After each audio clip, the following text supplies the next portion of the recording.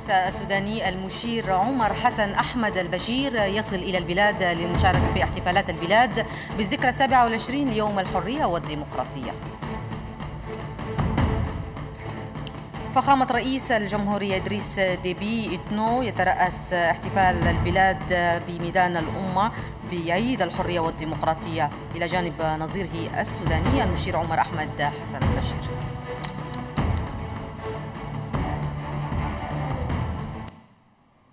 النشرة الفضاء النشرة الرئيسية من الفضائية التشادية أحييكم ونقدم لكم النشرة الرئيسية لهذا المساء أهلا وسهلا بكم.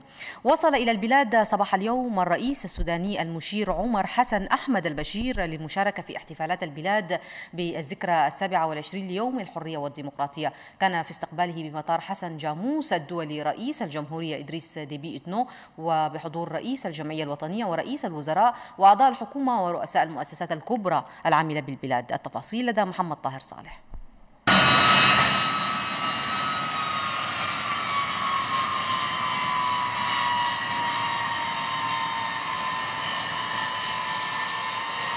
تحتفل تشاد بالذكرى السابعة والعشرين لعيد الحرية والديمقراطية وتعد زيارة الرئيس السوداني عمر حسن أحمد البشير وحضوره الاحتفال من أبرز سمات هذا الحدث التاريخي.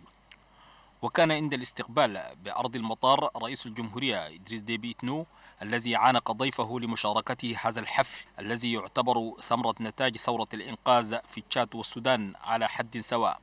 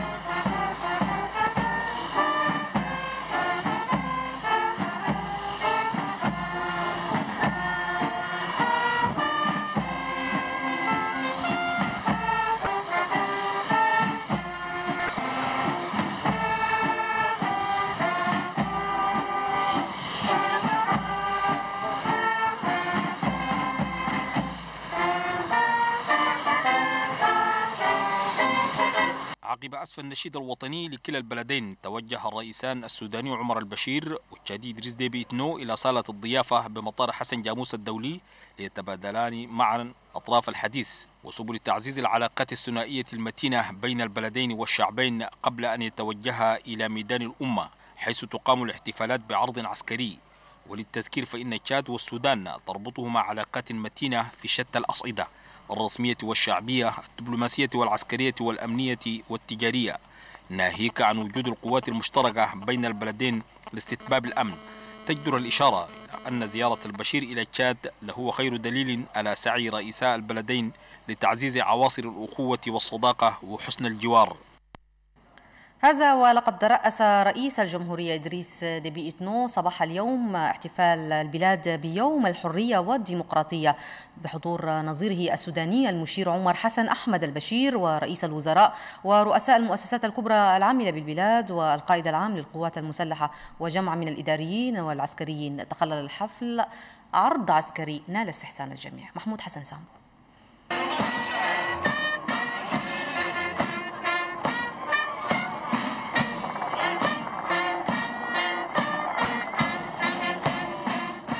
بمجرد وصول رئيس الجمهورية إدريس ديبي إتنو إلى ميدان الأمة والذي وصل إليه أيضا ضيف الشرف الرئيس السوداني عمر أحمد حسن البشير الذي حضر لحضور احتفالات البلاد بيوم الحرية والديمقراطية الذي غير مجرى التاريخ السياسي الحديث لتشاد حيث القضاء نهائيا على النظام الدكتاتوري الغاشم لحسين هابري في الأول من ديسمبر عام 1990 من قبل الحركة الوطنية للإنقاذ تحت رئاسة رئيس الجمهورية إدريس ديبي إتنو فقد انطلق الحفل رسميا بوطئ إكليل من الزهور على قبر الجندي المجهول من قبل رئيس الجمهورية تخليدا للذكرى شهداء البلاد الغالية.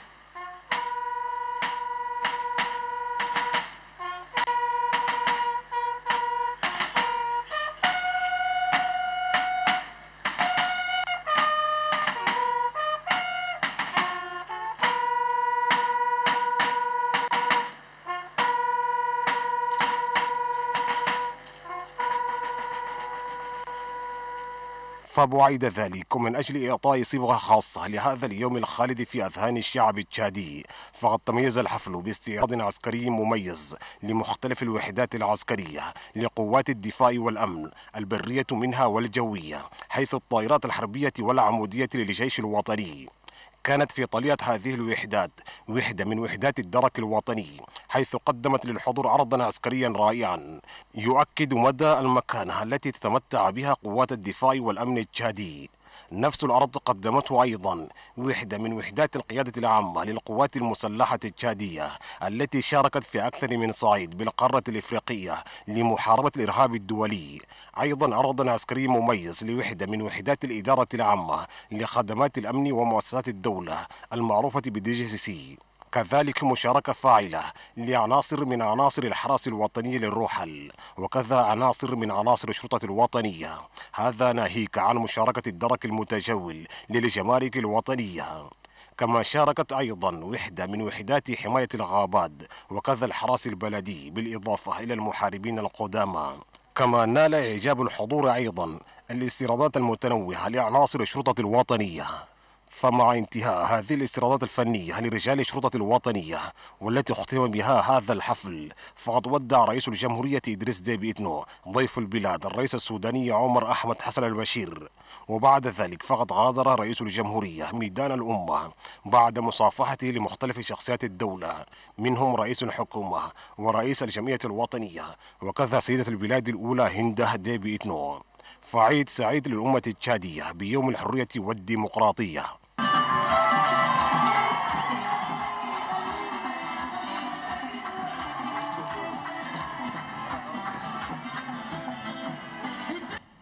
وعلى ضوء الاحتفال بيوم الحرية والديمقراطية عبر بعض من أعضاء الحكومة والمواطنين عن انطباعاتهم وشعورهم بهذا اليوم التاريخي للشعب التشادي. جزء من هذه الآراء. طبعا هذا يوم عظيم لأن يوم يعبر عن الحرية. من غير الحرية ليس هناك إنسانية. ومن غير الحرية ليس هناك معنى للحياة. من غير حرية ليس هناك إبداع فكري. من غير حرية لا يمكن أن تتحقق العدالة بصورها المتعددة في الحياة. فطبعا تحقق هذا اليوم يوم الحرية والديمقراطية أول من ديسمبر عام 1990 فرحانة بالمرة يعني ده 27 أنينا اليوم احتفلنا عيد الحرية والديمقراطية 27 عيد الحرية والديمقراطية. ونقول يعني مبروك العيد. الشعب التشادي تعيش في أمان والسلام والحرية والديمقراطية. الشعب كله كأننا إن شاء الله اسمها الديمقراطية ده. اننا كلنا فرحانين. الرئيسنا الله يا ربنا سبحانه وتعالى يزيده. الله يودي لنا قدام. أنا ما اننا ما انفس هذا الشات كله بلاشان الشات كله كده فرحانين في حريه ده. ما شاء الله بارك الله فيك. الله يزيده وربنا سبحانه وتعالى رئيسنا يزيده ويعاونه ما شاء الله. وأنتم عارفين شيء أزيد من العافية ما في في العالم. حتى الرسول صلى الله عليه وسلم قال لنا العافية. الحمد لله نتمنى من الله سبحانه وتعالى أن البلد ده يكون عافية وبالعافية بنقدر التجار يقدر يخدموا الاولاد يقدر يقروا والناس كله يقدر يعملوا سوقهم. في ده أنا كشعبي نتمنى من الله سبحانه وتعالى أن الناس ده كله إن شاء الله نتكاتفوا بيننا. حتى شيفوا اليوم ده في إيد عندنا حتى ضيوف. أخونا عمر البشير كمان جاء هدر في محل ده. الناس كله فرحانين اليوم ده. ونشكر السيد عمر حسن البشير جاء هدر كمان في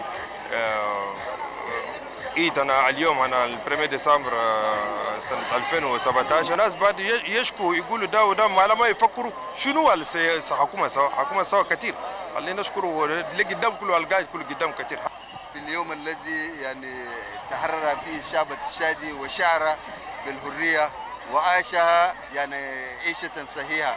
يعني بعد سنوات طويلة من الدكتاتورية فتنفس الشعب التشادي وشعر بأنه حر ومستقل ومواصل الآن في مسيرة الديمقراطية والتطور والنمو مع الرئيس آه، الرفيق إدريس ديبي الذي ما زال مناضلا كما بدأ يعني في أيامه الأولى فهو مستمر و- و- والشعب التشادي معه وإن شاء الله ستبقى تشاد يعني آه، شامخة وعالية ومستقلة.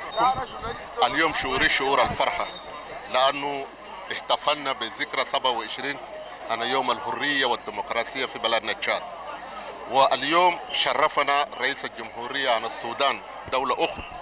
أجاه واحتفل جنب رئيس الجمهورية إدريس ديبي إتنو ومع الشعب التشادي في الفرحة والسرور. قدم